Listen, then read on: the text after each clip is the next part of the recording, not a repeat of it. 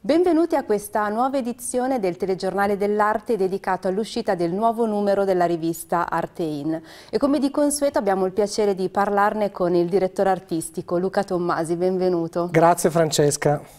Dopo tante copertine valide e interessanti dedicate in gran parte ai protagonisti dell'attuale sistema dell'arte, questo numero è dedicato a un artista maledetto per eccellenza e pop, Mario Schifano, eh, a cui appunto è eh, dedicata la, la copertina e il tuo articolo cover story. Eh sì, e tra l'altro fatemi dire che credo che sia la più bella copertina di Arte In mai realizzata, perché abbiamo recuperato quest'opera che era in mostra uh, alle Gallerie d'Italia a Napoli, nella grande mostra antologica che è stata dedicata a Mario Schifano, e mettere in copertina questo doppio schermo di, di una Coca-Cola, quindi di una teleemulsionata, ci ha veramente resi eh, felicissimi. Anche perché, insomma, amiamo tutti Mario Schifano, ne parliamo molto anche su queste frequenze, è un artista che come tu hai detto, eh, maledetto, geniale, straordinario, un artista che ha eh, veramente anche rivoluzionato il modo di essere artista in Italia, perché lui già da giovane condizionava i galleristi, stracciava i contratti con gallerie internazionali, era libero, Goffredo Parise lo definì un puma, ed era un artista che non si lasciava ingabbiare. Eh, così facendo ha, ha, percorso la seconda metà del Novecento regalandoci delle opere meravigliose ed è stata molto bella la mostra che si è tenuta alle Gallerie d'Italia a Napoli perché ci ha dato uno spaccato straordinario eh, dagli anni 60 in poi. Eh, qualcuno può dire ma come mai Artein non aveva ancora dedicato un servizio, una copertina a Mario Schifano? Beh perché quando si tocca Mario Schifano si tocca comunque sempre un artista molto Mm, fammi dire un po' problematico perché bisogna chiedere autorizzazioni, certo. pagare diritti sulle fotografie, eh, quindi eh, aspettavamo un grande evento, il grande evento è arrivato e noi credo che possiamo dire che abbiamo regalato un bellissimo numero ai nostri collezionisti, eh, vedi l'errore freudiano. Dire, volevo dire abbonati, ma questa è una copertina da collezione. Io mi auguro che i nostri abbonati siano collezionisti e collezionino i nostri numeri, perché questa è veramente una copertina da collezione. Lo è, lo è.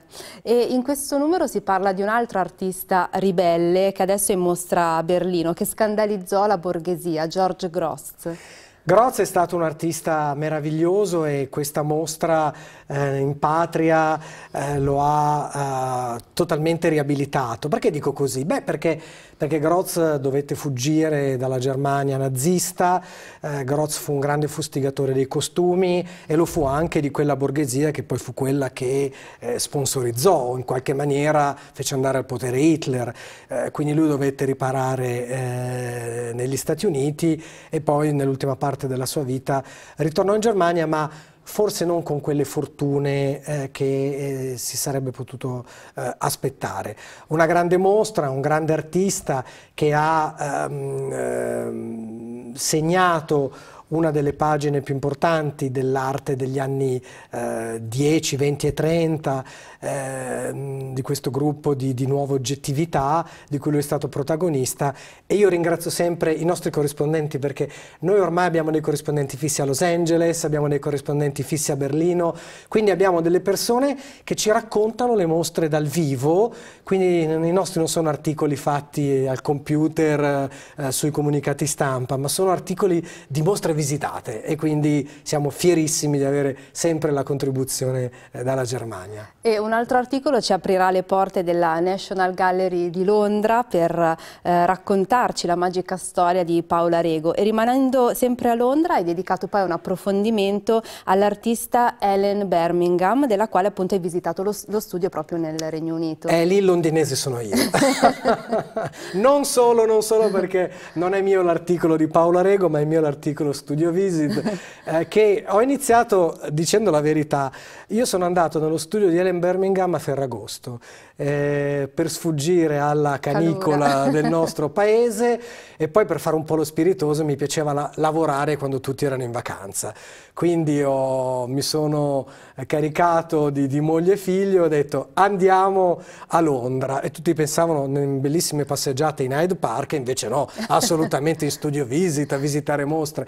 E quindi ho conosciuto questa artista meravigliosa, veramente una delle promesse della giovane arte inglese internazionale, giovane ma non giovanissima, un'artista nata negli anni Ottanta, che però si sta affermando adesso con delle opere che stanno facendo strabuzzare gli occhi a chi ci si trova di fronte. È stata una visita bellissima, eh, la racconto in Studio Visit e spero che sia apprezzata dai nostri eh, lettori. E poi come sempre ci sono le grandi interviste, una in particolare significativa quella di Marzia Spatafora che ci farà conoscere meglio Bruno Corà, presidente della Fondazione Burri, nonché autore di oltre 400 eh, saggi critici di arte contemporanea. La nostra Marzia ci sta viziando sempre di più con interviste sempre più appassionate. E, e infatti, se vogliamo dire, ci sono de dei must nella nostra rivista che è la cover story, che è la grande intervista di Marzia e eh, dopo aver intervistato dei direttori di museo come la direttrice del Pompidou Metz oppure il uh, responsabile mostra di Palazzo Reale oppure Maraniello, responsabile del Polo Culturale di Milano, abbiamo anche inaugurato uh, questa stagione dei grandi critici d'arte. Uh, ne stiamo intervistando uno importantissimo per il numero 17 che, che è in preparazione e qua Bruno Corà, cosa devo dirti? Uno degli artisti, uno del, beh, è un, è un artista, è un artista, un grande curatore è per forza un artista, perché uno che deve avere una sensibilità spiccata e quindi è qualcuno che deve saper parlare eh, il linguaggio stesso degli artisti. Eh, Bruno Corà è a capo di un'istituzione come la Fondazione Burri, chapeau, cosa vuoi dire? Cioè, se uno arriva a quei livelli vuol dire che nella sua vita ne ha messe assieme di mostre, eh, di libri, di curatele. Poi sono quelle figure, vedi, oggi c'è il termine curatore, e, ma il curatore è un gradino più basso del critico d'arte. Una volta c'erano i critici d'arte, oggi ci sono meno critici d'arte, ci sono più curatori. Curatore è uno che allestisce, che ha delle competenze indubbiamente. Il critico d'arte è uno che si è formato sulla critica, quindi è molto più severo e, e, e, partorisce dei giudizi molto più approfonditi. Lui è un critico d'arte, quindi è bello poter registrare le, le, eh, le, le parole di, di, di personaggi come lui.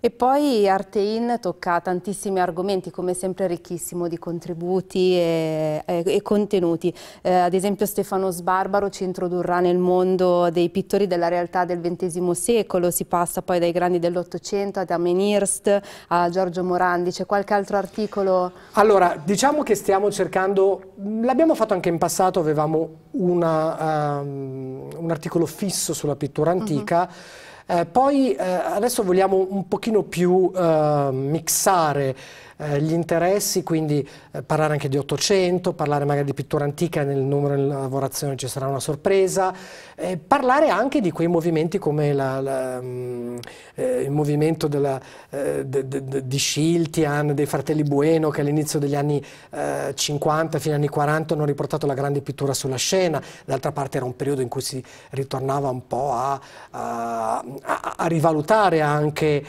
la grande pittura. Quindi sì, è vero, vero, ci sono sempre eh, articoli interessanti, abbiamo eh, intervistato Davide Benati, grande artista eh, italiano e poi non dimentichiamoci le rubriche perché eh, ve ne segnalo una in particolare che è quella sull'intelligenza artificiale. È un tema che stiamo affrontando, mh, continueremo ad affrontare perché è, è un uh, tema al centro del dibattito anche nell'arte. Quindi Può oggi l'intelligenza artificiale influire le scelte degli artisti? Può sostituire gli artisti?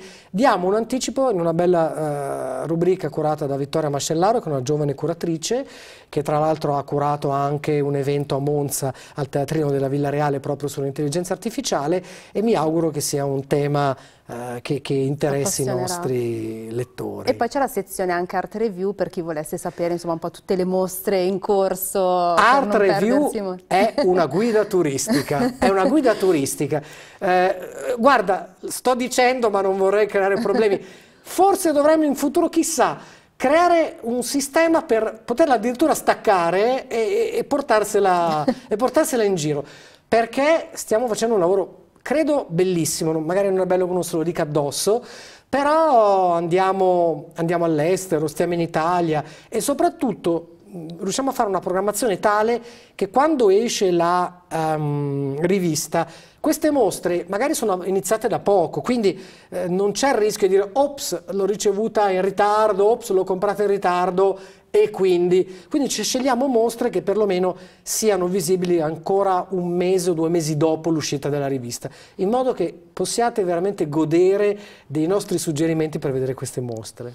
Quindi come avete capito un numero ricchissimo di, di, contenuti assolutamente da non perdere con questa copertina da collezione, quindi eh, non mi resta che invitarvi alla lettura di questo nuovo numero di Artein che vi ricordo potete trovare in edicola o prenotare anche comodamente dal, dal sito sia in versione cartacea che in abbonamento. Noi vi consigliamo sempre questa seconda opzione per riceverlo appunto direttamente e comodamente a casa. Io ringrazio Luca Tommasi per essere stato con noi. Grazie a te Francesca per l'ospitalità. e ci vediamo alla prossima edizione del nostro telegiornale. Grazie.